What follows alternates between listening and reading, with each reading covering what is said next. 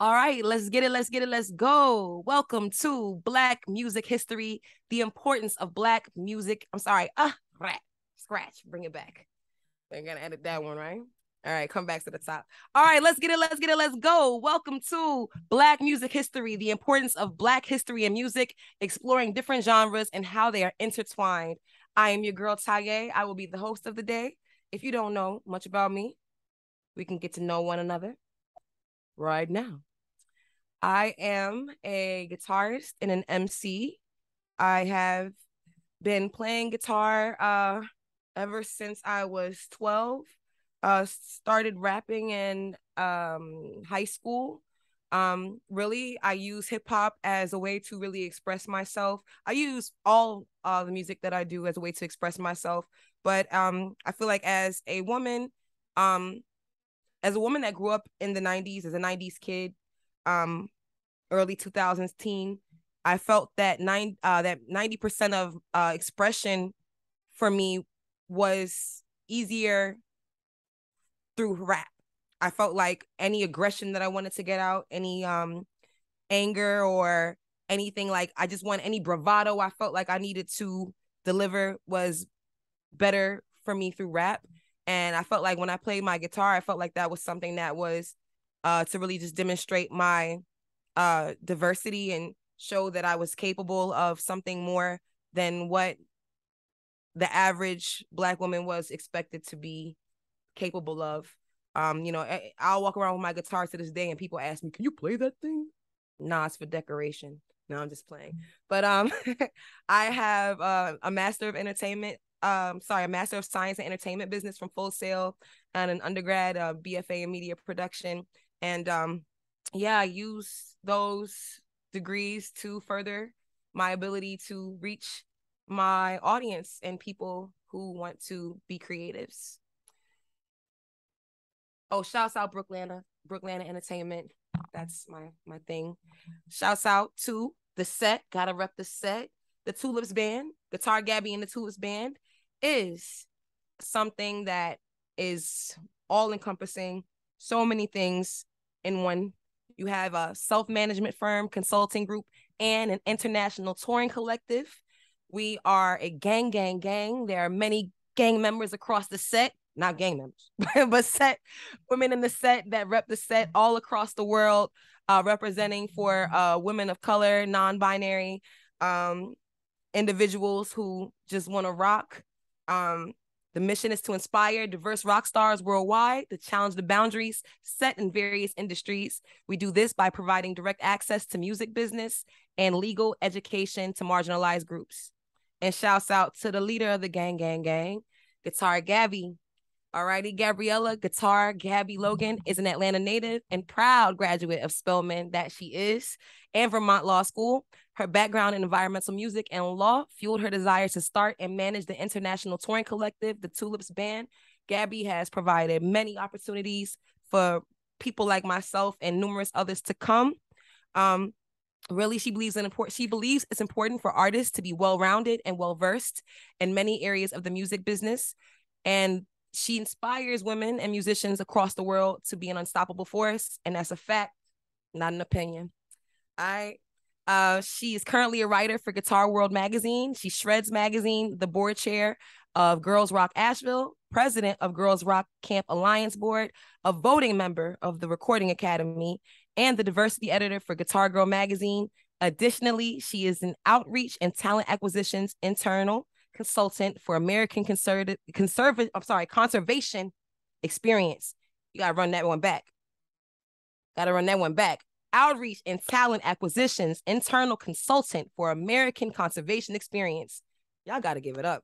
That's my sis. All right. Now, moving forward, we are here. We are here today to talk about Black history and music, um, Black history, culture, all of those things. Um, I'm very black, as you can see. Uh, and I have a lot of things to say as far as uh, my um, uh, informed opinions and um, what I've learned and what we all know to be true. And that is that Black history, Black culture um, specifically Black American culture, is responsible for almost all of the music, all of the fashion, all of the things we see today um, that have become popular that were once considered to be uh, faddish or flash in the pan. Um, and that's nothing new. It's been happening. It's been the vibe. It's been the wave since the first song to ever chart. So get on with the slide here. So Black history is American history, and it very much is. Um, the minstrel show. I don't know if you all are considered are familiar with the minstrel show, but I'm gonna hip you to the T. So the minstrel show is considered to be the first introduction of music and theatrical entertainment. Basically, the minstrel show is when um, non-black people would dress up in blackface and sing songs and do dances that they saw enslaved people doing or black people doing at the time. Um, a lot of those dances and songs were uh songs that you know black people were doing to entertain themselves. They were not allowed to read or write. So um you know it's not that they were willfully ignorant you know or what people would consider to be ignorant but they just took what they had and made the best of it and being that there was a lack of television or media of any kind at the time, I guess people saw what they were doing and were very entertained by what they were doing and decided that they wanted to imitate them and thus entertain others by imitating the entertainment. You get it? All right. So, Black people's music, style of dress, dance, and dialect were used to entertain while entertainers performed in blackface, using Black culture as a costume. And this is a fact. The first international hit song was Jim Crow in nine, I'm sorry, in 1829, a song in which Thomas uh, Thomas Dartmouth Rice sang in blackface and imitated African Americans. Um, this is something that happens today, maybe not so much with blackface, but you do have entertainer entertainers who um I don't think that it's coming from a vicious place or a hurtful place, but um you have entertainers that do sometimes adopt black culture for a little bit, get a little black scent, you know, get a little get a little edgy, you know, as they call it getting edgy. They get a little edgy and, you know, get a little black haircut, get some black friends in the video, maybe get some black producers behind the scenes to write the songs. And uh, you know, I don't want to call out any artists because uh I I I enjoy, you know, all art and I understand it all for what it is, but to a degree, um, a lot of that is a modern day minstrel show, in my opinion. That's an opinion. Anywho, African American music was birthed from the pain and lack of cultural identity from enslaved people. So you have people that are brought from their native lands, they are alienated from their culture, their language, their customs, and then more aspects, or more often than not, it was literally illegal for them to be connected to their culture because that connection to their culture threatened the uh the systems that were being in place to keep them enslaved. So you had a lot of African people or you know enslaved people at the time that would camouflage what they were doing. They would camouflage the um the conversations they were having by speaking broken English or by, you know, creating slang and doing things. They didn't want, you know, uh the people in power, people in positions of power to know what they were doing because that could very well threaten their ability to continue living. you know? So um being stripped of their customs and beliefs help them uh, help to lead those people down a path of unique creation you know um they say necessity is the mother of invention. So the need to communicate, the need to express themselves, help them create these uh, facets and aspects of the culture. As Black people struggle to find a place in society, in a society that was never built for them, they created an art that became the tempo of the world. Most, if not all, genres of music evolved from the Black experience. The first instance of this being Negro spirituals. In an effort to keep control over the enslaved, Black people were not allowed to read or write. Black people used their history of oral tradition to communicate information in a musical format. And as I stated previously, we are still doing that till this day. Um, maybe we'd be able to do more so if it if things weren't so commercialized and people weren't so focused on making money. But I find that a lot of underground musicians and people who are, um, you know, not forced to meet a album quota are able to express themselves a lot more and a lot freely. Uh, shouts out to the underground, to the underground rappers and musicians of the world. So, as I stated previously, I'm also kind of want to swerve and take you to um like Brazil, like capoeira is a style of it's a fighting style, but uh they had to disguise it as dance because if the overseers or the I don't really want to I don't I just keep using the term people in positions of power because I don't want to say masters. It's kind of I don't like that. But yeah, so um yeah, um the people who were in positions of power if they saw them training to fight, then that could threaten their um you know their their their um their health and safety. So they disguised the fighting style as dancing. Very much um, with American culture, a lot of dances and a lot of songs disguised um disguised um like ways and paths to freedom. One of my favorite songs that I learned in kindergarten um, it's a song called "Follow the Drinking Gourd." I don't know if you this. I'm not. I'm not gonna really sing it all the way. I'll sing a little part of it. Don't judge me. I'm not a singer. But they say when the sun goes down and the first quail calls, follow the drinking gourd. For the old man is awaiting for to carry you to freedom. Follow the drinking gourd. I learned that in kindergarten. I've always liked that song what the drinking gourd is, they're referring to the Big Dipper. But if you're a slave, you don't know that it's the Big Dipper, or you're not, you don't know, but you do know that it resembles a drinking gourd, which is the gourd is um what they use to get water out of um maybe a pot. I don't know. I'm not I didn't live back then. But, anywho, the drinking gourd, you know, it's basically telling them to follow the North Star and to follow that path to get to the Underground Railroad so that they can get up top so they can get to you know freedom which is which was northbound if you don't know. And i feel like it's important because i asked a girl one time about the underground railroad and she really thought it was a subway. So it's really important that we have this conversation. Underground railroad was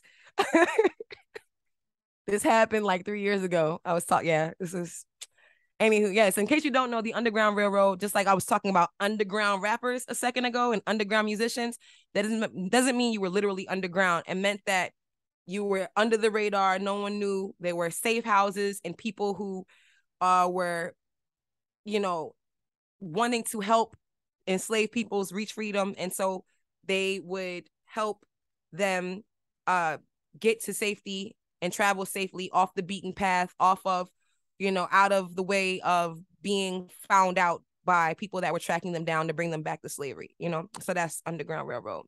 And I like I said, that song is so dope to me because, you know, they're singing this song and the lyrics are literally telling you how to get out, you know. And I find that we have that also in civil rights movement, you know, with Marvin Gaye. Um, what's going on you know the the lyrics for songs have always been the things that help us empower ourselves and get to the next um the next empowering phrase uh phase of life. But music and dance have always been deeply connected. Dances have also have often been the visual expression of the energy that the music brings. As we moved into the 20th century big brass bands gave way to ragtime and jazz. The term derived from the african american term to rag which means to bring life to music by playing offbeat creating syncopation syncopated beats are very native to um, African, Latino, Afro Latino communities. Um, you know, we have to always say these things because we have to remember that, as I referenced Brazil earlier, more slaves went to Brazil than any other country um, in the world at the time, I believe. Um, you know, a lot of countries, you know, they integrated differently, at, you know, in a post slavery world. Some focus more on nationalism. So you have like, you know, I find a lot of the Spanish countries, although they might have um although they might have a bit of uh colorism, they don't really focus on race as much. I'm not gonna say that 100 percent because I, you know, I, I'm generalizing in that way, but I feel like not so much as they do or did here in the United States or um you know, I don't think it was as prominent.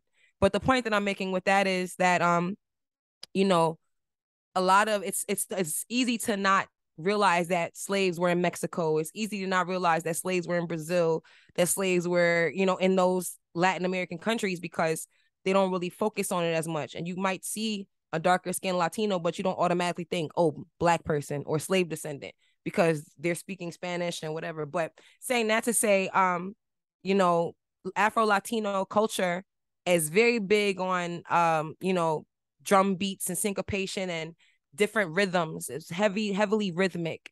And that's um also something that was very big in African culture and here in American culture as we moved and started to create jazz and um, ragtime music. Um, I think we kind of underestimate the significance of these previous genres because as we move forward and create new genres, I don't think we understand.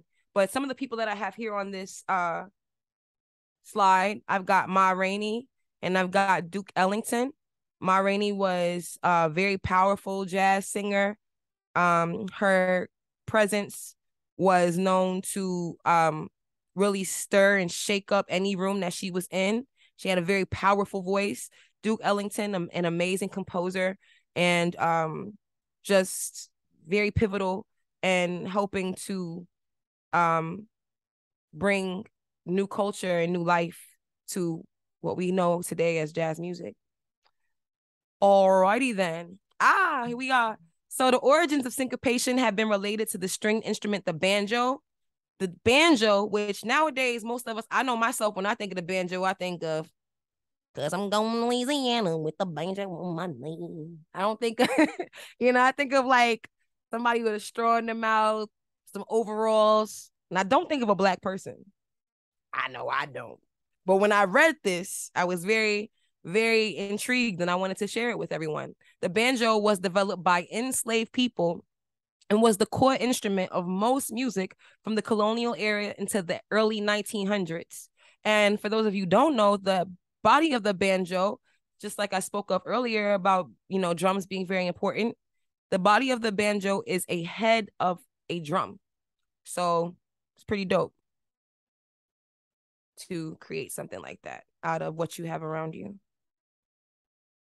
So from ragtime, as I stated, we go to jazz. Uh, just like ragtime, I said rag to, to rag meant to bring life to it.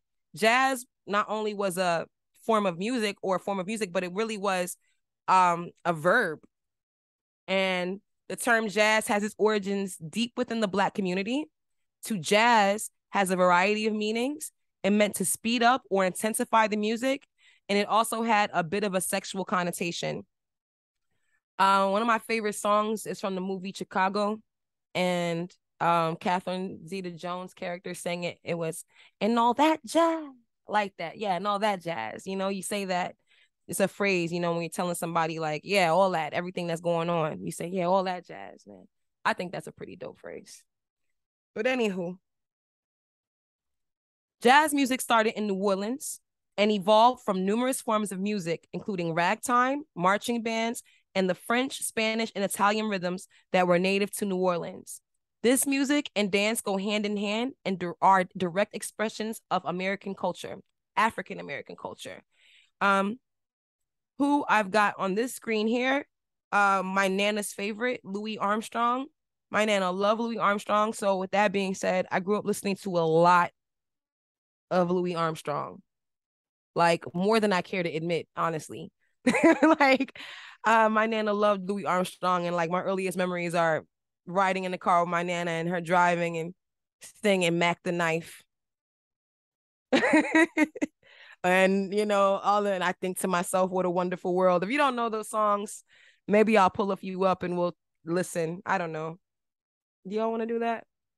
Probably not. Oh, y'all do? Okay, okay. I might, but you know, we might do that. But yeah, man.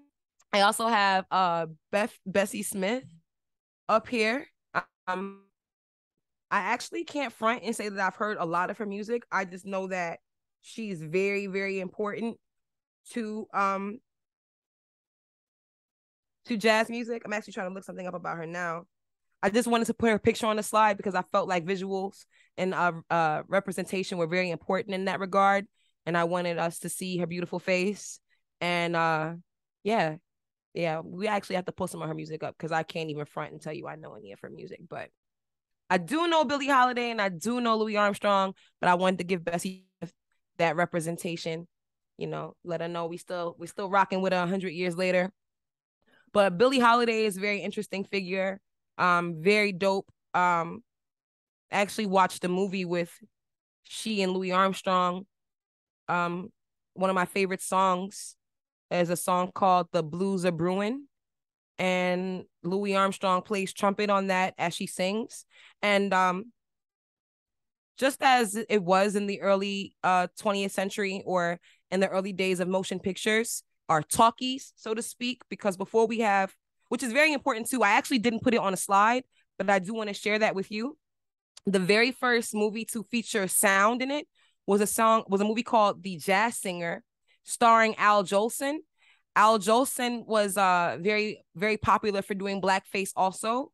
Um and the movie is primarily um it's primarily a silent picture, but the moment that he begins to play and sing um is the first instance of sound in a motion picture. And I found that to be very interesting because just as we've stated and just as the theme of the day continues, Black history is American history, and Black culture is very pivotal for all forms and facets of entertainment. The fact that someone that was prominent and famous for doing blackface is the first person to give us sound in a movie it's pretty dope.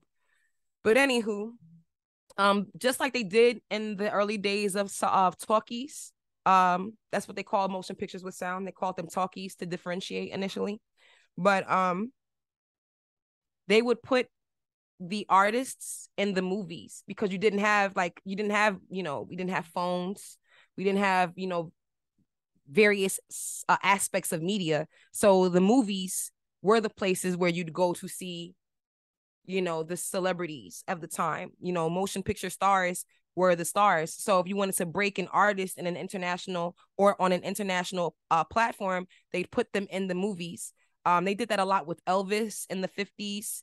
Um, they did that a lot with um, you know, big band, uh, big brass band um groups and jazz singers, blues singers.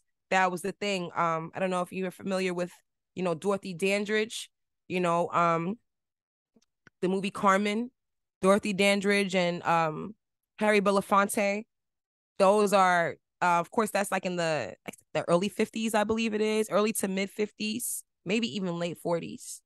But yeah, those types of movies were where they would break, you know, the artists who could sing and act. They really didn't care if you could act too much. It was all about, you know, kind of cross branding. But the movie I'm referring to with uh with Billie Holiday and Louis Armstrong was one of those movies. All right.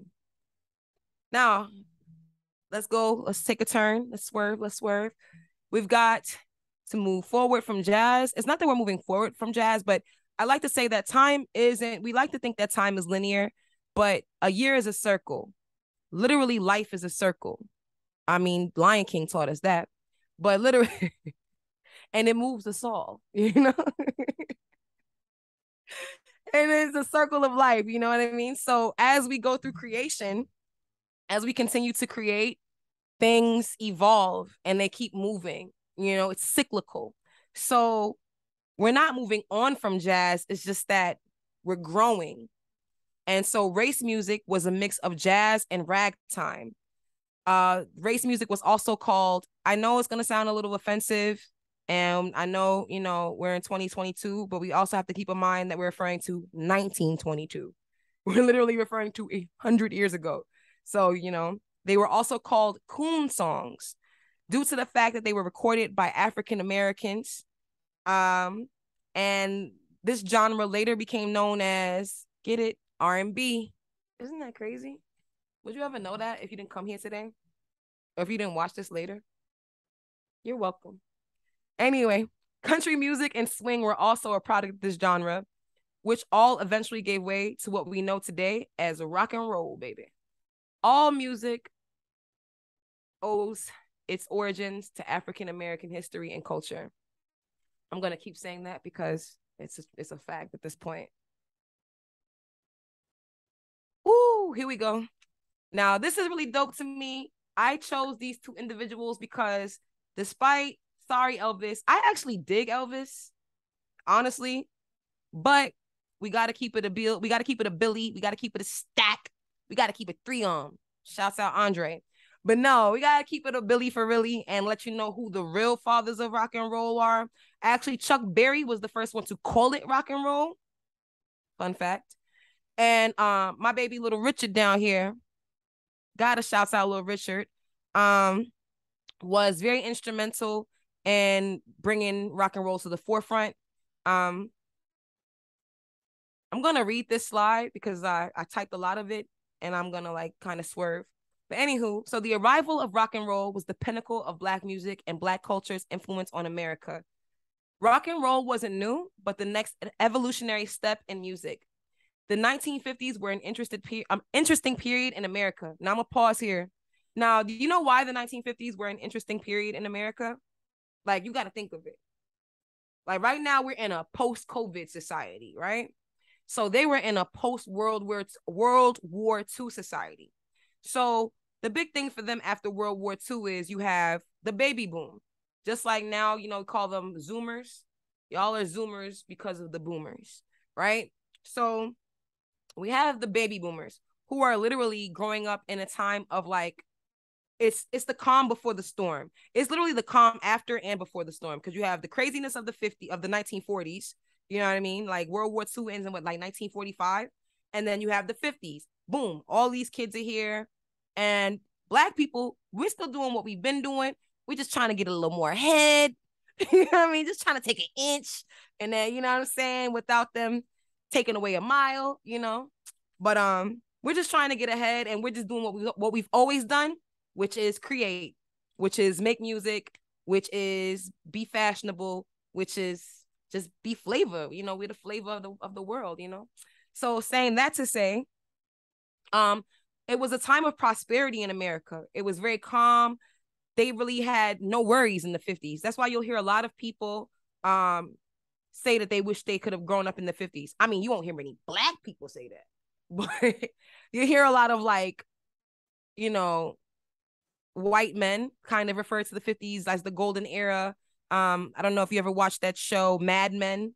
It was really all about like the 50s being the calm before the 60s came and like really or like the early 60s late 50s and just how there were just things were just very calm and people stayed in their place women stayed in their place black people stayed in their place and there was a food chain there was a pecking order and that was the golden era for hetero you know white men at that time sorry i don't want to be exclusive but it's kind of like what what it was. Um, this period is unique due to the fact that it was post World War II. This is also the first decade where television and radio are becoming the norm at this point. Now, for us, we can't imagine it. It's almost like kids who can't imagine a world without Wi-Fi or internet. Like we remember the world. I don't I don't know if we do. I know I do. I remember the world without cell phones. I remember when you actually had to be somebody to have a cell phone. And what I mean by that is like, yo, you had to really someone had to care if you if they called you and you weren't home. Cause otherwise, you know, why do you need a phone? Only important people have phones. And you know, anyway, so saying that to say back in the days, everybody didn't have TV. And then once people did have TV, it became like this thing where it was like, yo, it's this we have television and we have radio, and now we can listen to our music and we can see an artist at the same time. Now, granted, these things weren't portable, just as I referred to the telephone a moment ago. Like these are stationary items, so you had to be in like a central environment to experience them. Um, but this was the first era where people actually had these things. So whereas before you might hear a song from somebody on the phonograph, because that was like prior to that you had the phonograph or you had the gramophone, uh, which is what the Grammys are named after now. But phonograph, gramophone, radio, all you had was that sense of hearing. You don't you didn't have a sense of you didn't get to combine your senses. It was just that. So when television comes about, you're now combining your sense of hearing and your sense of sight and you're getting to experience these musicians in not necessarily real time, but for what you would consider to be real time at that time. So uh, racial tension was higher than normal at this point due to Brown versus Board of Education and the end of segregation in public schools. So you have a multitude, you have a multitude of things happening at the moment.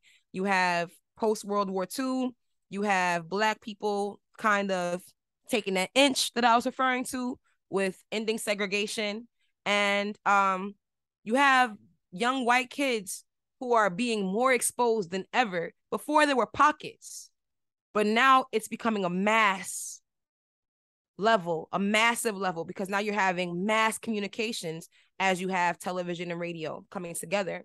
So you have young white kids who are being more exposed to Black culture more than any other previous generation. And this made the parents uncomfortable, just like with any, you know, older time period. You know, when you see newer things happening, you begin to either you get upset or you go with the wave. I feel like people that keep it moving ride the wave. I like to ride the wave. Anywho, so these people did not like the wave that was occurring. They didn't like the new wave of their kids being influenced by black people. And this made most of their parents uncomfortable and prompted white artists to take black music and record cover versions of the songs made by black artists. Many white artists gained fame and notoriety for songs that had been made by black artists. Uh, I've got Little Richard. I don't know if you all are familiar with Pat Boone, but Pat Boone took a lot of Little Richard songs and covered them because it made the parents uncomfortable to see a black man, you know, making their daughter scream. That's a big thing, you know, and that's Little Richard actually said that. He said when he acted more effeminate, he was able to get on a lot more um shows and do a lot more um in front of more audiences because they felt less threatened by him. He said when he was more masculine, um, it, it limited his ability to perform more places. So that's when he started wearing lipstick and wearing makeup. And yeah, I'm not making this up. He said it himself. I've watched several interviews where he's referred to that and how people don't want to give him the credit as being the king of rock and roll, but they've given Elvis that credit. And Elvis has even himself credited the fact that he grew up around um, a lot of black people and um, his song Hound Dog was taken from a black a black woman.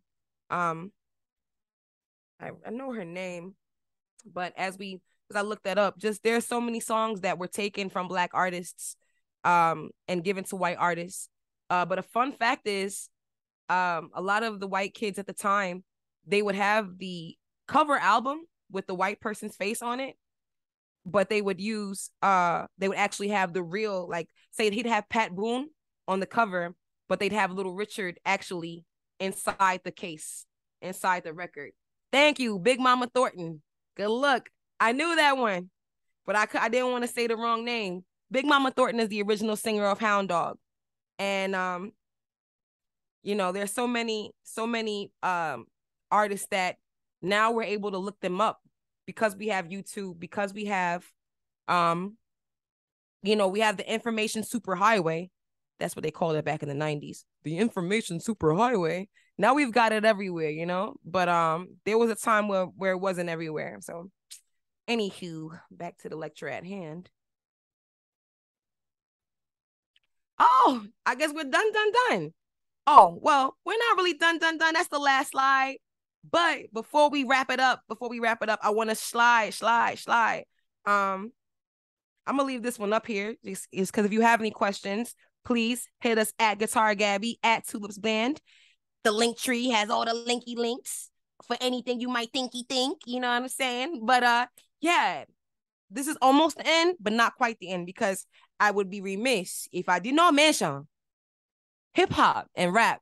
You know, so although rock and roll, um, rock and roll was the biggest thing to happen. It was the biggest uh, it was the biggest boom to occur in the 20th century in the 20th century uh, uh, initially but then from rock and roll you've got funk from funk, and I left blues out. I don't know how I left blues out, and I love the blues. But from rock and roll, you've got funk, you've got, you know, funk that evolves and um a lot of the rock and roll records, like, you know, James Brown and uh I don't know if you it's like a R&B kind of funk rock mix. A lot of those records were taken and the kids of the children of the 60s are uh, of the, no, actually the kids of the children of the 50s. You know, those are the kids who birthed hip hop. Uh DJ Kool Herc is credited with starting hip hop.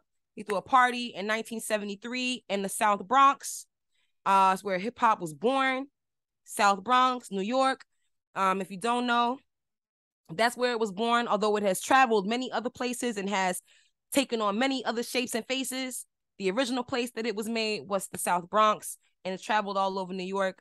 But saying that to say those kids, uh, they didn't have money to go to Studio 54. They didn't have money to go to the popping places that were um that were more upper echelon. So they would throw parties in the park. And they throw parties in the park and they find a cool beat break. I've got Run DMC here on my wall. Also got Jimi Hendrix. Also have uh Fleetwood Mac. Can't see those, but those are some of my faves. But saying that to say, they would find a beat break, which is just a loop of those old rock and roll records, literally the old rock and roll records, the old records from the 50s, 60s, they'd find a cool drum loop because those songs back in the days they had, they were rocking. So they'd find a loop and then they'd create a, a scratch, create a new rhythm. And within creating that new rhythm, they'd get an MC. And the MC grabs the mic. MC means two things master of ceremonies, and it also means to move the crowd. And in order to be a master of ceremonies, you have to be able to move the crowd, baby. They go hand in hand. So saying that to say, um, when it comes down to it all, you had the DJ who's creating the beat break. Then you have the MC who grabs the mic and kicks rhymes. And that's how you have hip hop take place. And from there, like I said, it wouldn't, it all evolves. It all evolves. Hip hop was started by black and brown kids in New York and it took shape and it took over the world. And now here we are in 2022 where you have so many different races, so many different cultures, so many different people, you know, using hip hop as a way to express themselves, as a way to uh make money, as a way to um just be creative. But it started with black history and black culture. So that's all I have to say about that as we factory. Factory. I want to throw that out there too. Yeah, we're gonna pivot, pivot, pivot. oh, oh, didn't make to shake the room. Anywho, um, yeah, Ma Rainey, Billie Holiday, Little Richard were also pioneering queer artists. Shouts out very much, very much. And um, so many more, so many more people that weren't able to actually, you know, express themselves at the time, but their art has withstood uh, has withstood the test of time. And you know, now we're here and people like us are able to experience it and carry their torch because all of these people are long gone, but their art stays amongst us. And we have the pleasure and the benefit of being able to, you know, take that previous knowledge and that previous energy and infuse it into what we're doing and use it as rocket fuel. And like my man Buzz says, we got to go to infinity and beyond, baby. That's what we're doing. So once again, I am your girl Tiye. I always say host, even though maybe I was your teacher. I don't know. I feel like I was your host though. I'll be your host of the day. Uh, once again, you can find us at Guitar Gabby and the TxLips Band. You can find me at Tiye Cochran. It was at the beginning of the slide. I don't know if you're interested, you can go back. uh, anywho, this has been a pleasure and an honor. I'm so grateful. Thank you so much to everyone. Girls Rock Detroit. Thank you so much for the Girls Rock Squad. Thank you so much to Gabby. Thank you so much to everyone. Maggie, Nicole, thank you so much for all that you all have uh, allowed me to do here today. And yeah, that's all I have to say about that. That.